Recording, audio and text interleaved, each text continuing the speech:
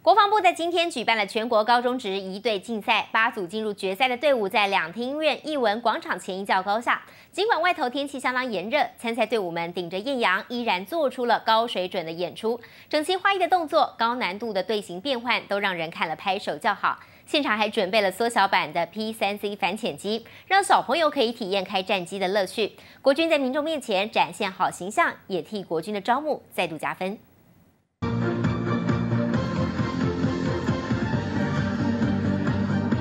法整齐划一，口号喊得震天响。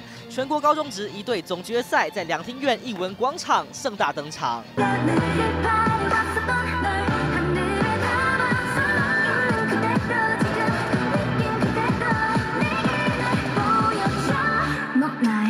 中女中清一色女子军团表现可是不让须眉，柔中带刚的气势超吸睛。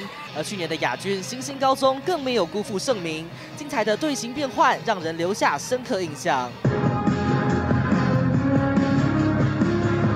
我们差不多花一个月的时间去做整个完整的表演的准备，就是不管是人啊、人数、音乐，还有队形，整整花了一个月到两个月之间。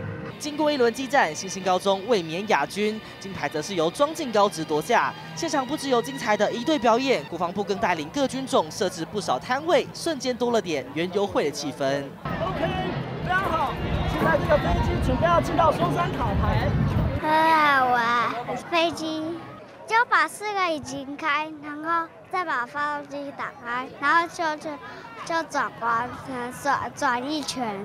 P 三 C 反潜机变小变 Q 版，让小朋友体验开战机的乐趣。国防部出招，在民众面前展现好形象，也替国军招募工作加分再加分。记者林晨杰、陈瑞祥台北报道。